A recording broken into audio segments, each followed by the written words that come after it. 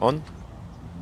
السلام عليكم ورحمة الله وبركاته uh, Today is Thursday 26 of October 2017 اليوم uh, 26 أكتوبر الخميس 2017 وإحنا الآن نزور ونترحم على روح الزعيم علي عزة بيجوفيتش في سراييفو رئيس جمهورية البوسنيا الأول. And today we visit the graveyard of uh, Ali Izetbegovic, the late president of Bosnia Herzegovina here in Sarajevo.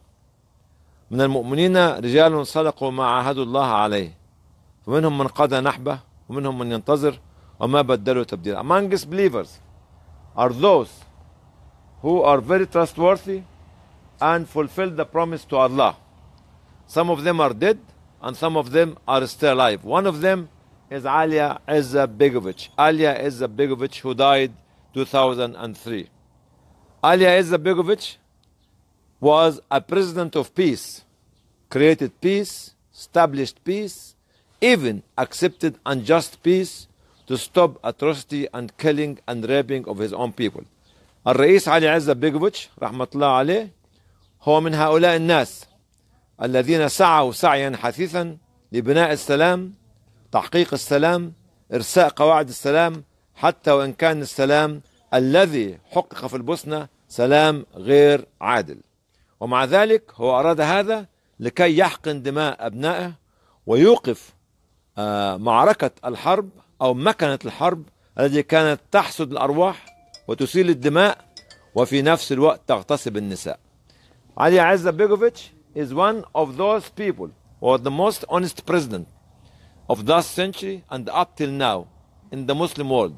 هو كان الزعيم الوحيد ده شهادتي الشخصية في الأمة الإسلامية والعربية الذي عاش ومات من أجل تحقيق قضية السلام في العالم وليس فقط السلام من أجل شعب البوسنة.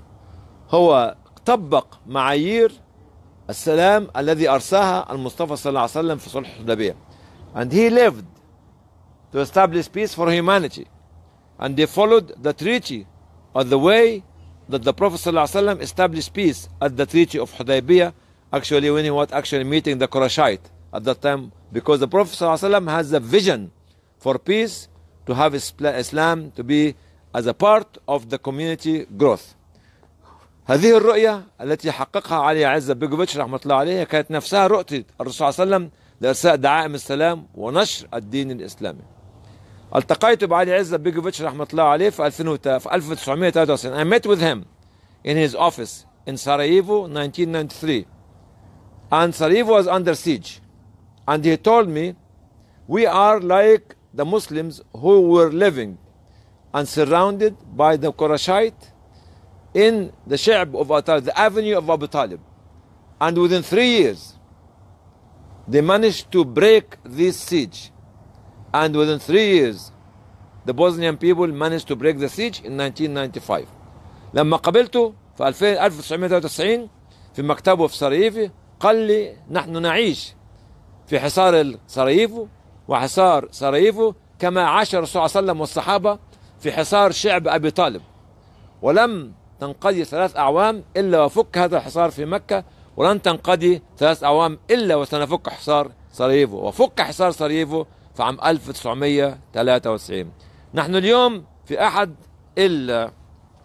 الحدائق التي تحولت إلى مقابر عامة فهنا كثير من الشهداء من سن سنة واثنين وخمسة وعشرة وستين وسبعين وثمانين وتسعين إلى آخره. Today we are one of those gardens in Sarajevo who became a graveyard for many, many, many, many people aging one year, two years, five years, ten years, four years, fifty years, women, men and children. They died for peace. لقد عاشوا وماتوا من أجل تحقيق السلام العادل. They live and died to bring peace to Bosnia Herzegovina, led by the late President Ali Izzat Begovic. هنا ننظر إلى المكان المكان الذي يعيش فيه الرئيس والمكان الذي يعيش فيه كل فرد من أفراد الشعب. We look at the same place and the space which were accommodating the body of the president and accommodating the body of any ordinary citizen in the country. القبر هو حياة الخلود. Grave is the life of eternity. You see in it your عمل. علي عزة بيجوفيتش رئيس علي عزة بيجوفيتش قدم العمل لبناء السلام فهو يذهب معه عمله في قبره فيتحول العمل من عمل في الدنيا إلى سعة القبور وسعة الجنان التي سيدخلها هو والشعب البوسني من الشهداء إن شاء الله ولا نزكي على الله أحدا We go to our graveyards. We go to our graveyards and you see it there and we see our amal. We see our amal in our grave. And we find that such amal huh, will widen our space and let us see our place in heaven from the window in our uh, graveyard. واللي نتحدث عنه إنه عملنا في الدنيا هو الذي سيوسع هذا القبر ويجعله روضة من رياض الجنة أو والعياذ بالله حفرة من حفر النار والعياذ بالله.